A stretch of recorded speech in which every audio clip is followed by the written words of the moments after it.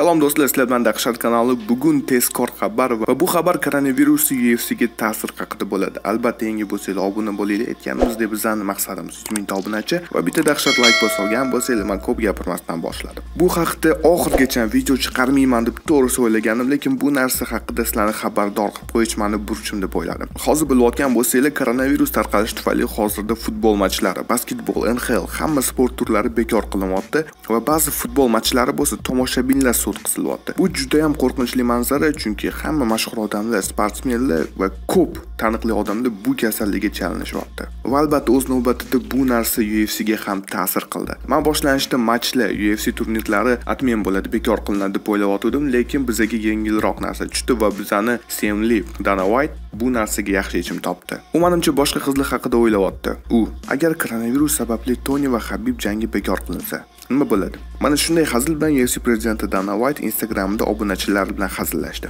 UFC prezidenti Dana White koronavirus tufayli UFC kelajagi va yaqin oradagi turnirlar haqida gapirib o'tdi. Uning aytishiga qaraganda UFC Braziliya bekor qilinmas ekan va fanatlarsiz o'tkazilar ekan 21 martda bo'ladigan Fight Night turniri ham hozirchalik hech qanday o'zgarish qolyapti agar mahalliy siyosatchilar jangi fanatlar uchun yopmoqchi bo'lishsa bu narsa sodir bo'ladi. Habib va Tonini 18 apreldagi jangga keladigan bo'lsa bu haqda hali hech qanday qaror qabul qilinmadi.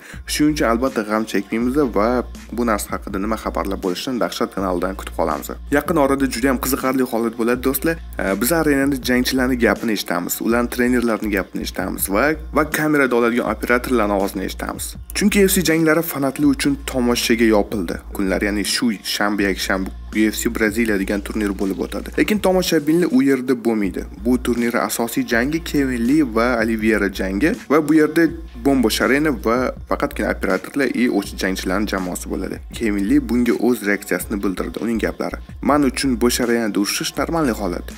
Kelinglar panika qilmaylik urushaylik va uyda o'tirgan odamlarga yaxshi kayfiyat beraylik deb yozib qoldirdi. Bundan tashqari habib menejeri al abdulaziz toni va habib jangi bekor qilinishidan xavotir olayotgan muxlislarga javob berdi. Uning gaplari bolalar habib va ichkarik jangi 18 aprelda sodir bo'ladi.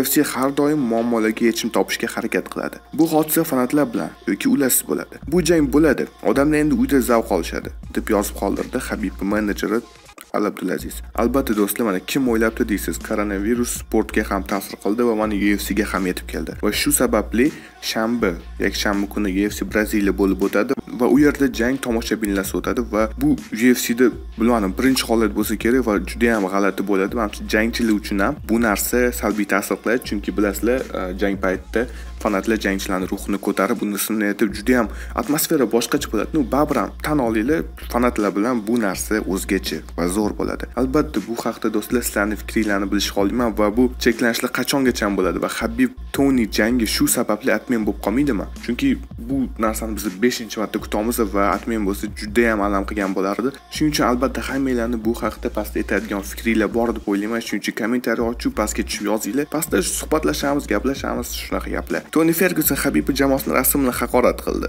Bu narsa habib rasmiga javob edi esingizda bo'lsa o'tgan oyda habib ufc 249 posterini instagramiga joylagandi va tonini jig'iga tegandi. Mana o'sha rasm toni bo'lsa bu ishga tez orada javob qaytardi. Uning gaplari habib jamoasi mani bannam uchun bu oson ish deb fergyuson o'zining instagramida habibni jamoasini otli tasvirida joylab bu narsani yozib qoldirdi. Albatta do'stlar bu narsaga ham fikringlarni bildiringlar. Jangdan oldin juda ham katta treshtok juda ham katta muammolar paydo bo'ldi. Ikkita jangchi o'rtasida albatta bu haqida ham sizlarni fikringlarni bilish menga juda ham qiziq bo'lardi. Bugungi asosiy va tezkor xabarlar shular edi do'stlar. Albatta ertaga cho'tki video tayyorlab qo'yganman sizlar kutmagan video. Shuning uchun albatta yangi bo'lsanglar obuna bo'linglar mana videoni oxirigacha ko'rdinglar. Yoqqan bo'lsa layk bosinglar. Sizlar bilan dahshat kanali bo'ldi. E'tibor va prosmotr uchun от души o'zinglarni asranglar sog' salomat bo'linglar har doim.